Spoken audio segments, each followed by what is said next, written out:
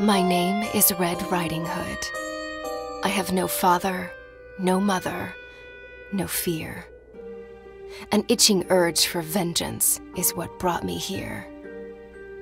My father died in a work accident four years ago today.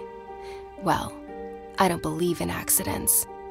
I believe someone should pay.